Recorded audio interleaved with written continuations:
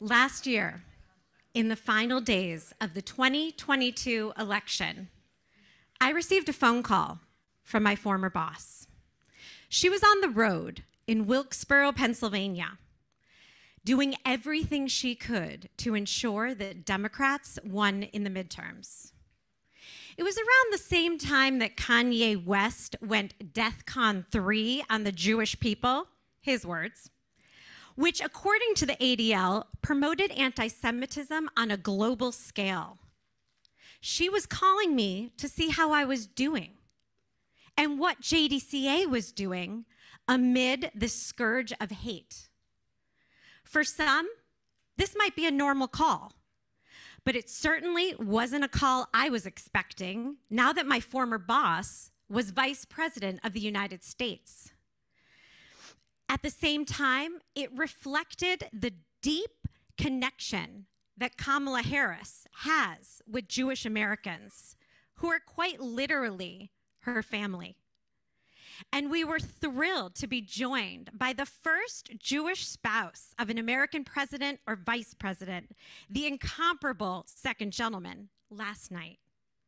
In November 2017, I had the honor of staffing both of them on a trip to Israel. I was recently looking through pictures from that trip, and I found in the visit the picture of the visitor's log at Yad Vashem. She wrote, as we bear witness to the horrors of the Holocaust, let us always strive to remember that we as human beings have so much more in common than what separates us. And by embracing this truth, let us live up to that solemn promise never again. Powerful words by a powerful woman, backed by powerful actions, including in the Senate where she led a resolution condemning hate crimes, including the rise of anti Semitism, and now in the White House, which will soon release the first ever national strategy to combat anti Semitism. I am inspired every day by the vice president's steadfast leadership, advancing our shared values. And I am immensely grateful for her deep commitment to the issues that matter the most to Jewish Americans, defending our community, our democracy, and our fundamental rights. Please join me in welcoming the Vice President of the United States, Kamala Harris.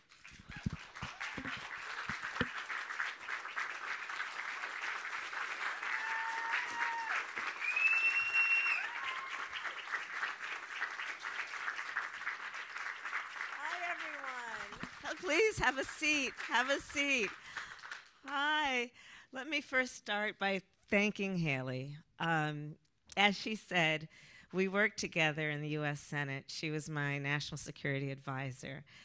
And I remember when you decided to take this position and you were so excited about the potential and what it would mean, and always understanding the opportunity of a moment, but also the responsibility in that moment to lead. And I just want to say in front of all of the friends, Halie is an extraordinary leader. She is so committed. She is so committed. She is smart as a whip. She is committed. She works so hard. She has passion about all that is right. She is a fighter for justice and a dear friend and advisor. So thank you, Halie, for all you have done. Thank you. So I'm so glad to see all of the friends. Um, the first second gentleman of the United States brings you his best after seeing you last night. Um, and he really enjoyed being with everyone last night. And I just wanted to stop by to thank you all for the work that you are doing. Um, you know, Doug, he has um, he's been traveling the world to fight against hate and fight against anti-Semitism. And one of the the things that he has been saying, he just came up with it, but he said and talks about, in particular with young people, about the importance of of living openly as a Jew And for any of you who have seen him when he does this, in particular with young people, but people of every generation, it's really so important for people to hear those words and understand what that means. Because in our fight against hate, what we are also fighting against is powerful forces that aim to suggest that we are alone and without community and without support. Those who aim to make people feel powerless and unsafe. And so the work that we do is yes, to fight against those forces, to call them out where they exist. And sadly, we are seeing them in many places around our country and the world. But in that fight, it is also important to remind people that they are not alone and that we all stand together and that it is a sign of our collective strength to say no one will be made to fight alone. And so that's how I think about this moment. Um, I will tell you, I am deeply concerned about what we are seeing in our country in terms of hate and, in particular, anti Semitism. As many of you know, in my career, I was an elected DA of San Francisco and, and did a lot of work prosecuting hate crime. When I was Attorney General of the state of California, I ran the second largest Department of Justice in the United States, second only to the US Department of Justice and I issued hate crime reports every year. And therefore, tracking with empirical data what we were seeing in terms of the hate that was manifesting itself in threats of violence and acts of violence against various people in our communities, including the anti Semitism we were seeing in a state like California. And now, as Vice President of the United States, when I travel the country and meet with folks and hear the stories stories from students, stories from grandmothers, and everyone in between. We know this is an issue that we have to remain vigilant about. You know, I often quote Coretta Scott King, and I'll paraphrase. And she famously said that the fight for justice, for civil rights, for equality, must be fought and won with each generation. And I think what she meant were there were basically two things. One, that these fights will produce gains, but those gains will never be permanent. So the second point then is an admonition. It's the very nature of it. Whatever gains they, that we make, they will not be permanent unless we are vigilant unless we are vigilant to preserve what we have achieved. And in that admonition, I think what she was saying is understanding it is the nature of it all. Let us not be overwhelmed. Let us not be living in a state of fear. Let us not throw up our hands when it's time to roll up our sleeves. And that is the work of this organization and each of you. Understanding we must be vigilant, we can take nothing for granted. We have known this, and history has shown this to us. And so we are prepared then to do what is necessary to fight back against hate and to speak up for the pride and the strength that we each share in terms of thinking about what all of this represents. And I must say, Halie, thinking about it, and we, so many of us work together when it comes to the work that we do to fight anti Semitism in a variety of ways, um, including the work that is happening here around elections. And so, first, let me congratulate this group for the midterms and what happened there in terms of the activism that resulted, you know, it was supposed to be this wave, they said. It was just a foregone conclusion. Well, it didn't happen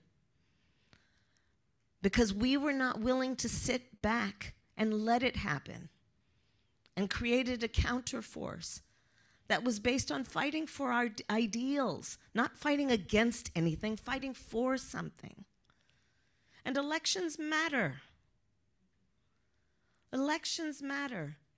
Elected leaders, whatever their level, local, state, federal, usually have a bouquet of microphones in front of them.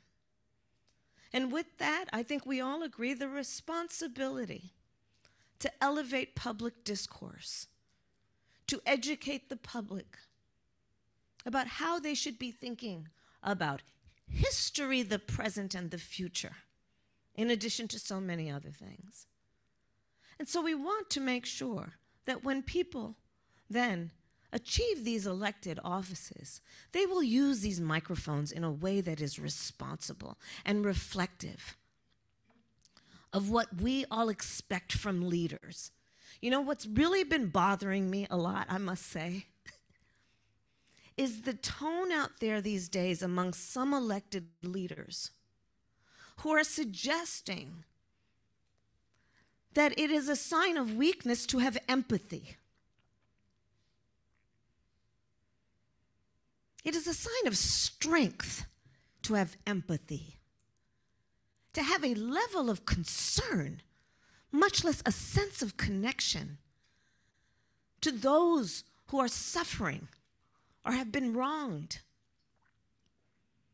But we're working in an environment in this year, 2023, where there are people who are going around pounding their chests about how strong they are when their measure of strength is based on who they beat down.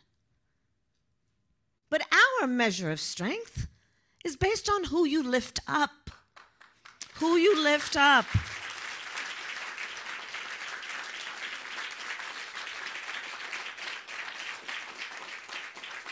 And so that is the work we are doing to support those folks who understand what we, I think, know and history has always shown to be the attributes of true leaders, especially in times like this, where there are concerted efforts to divide us as a nation.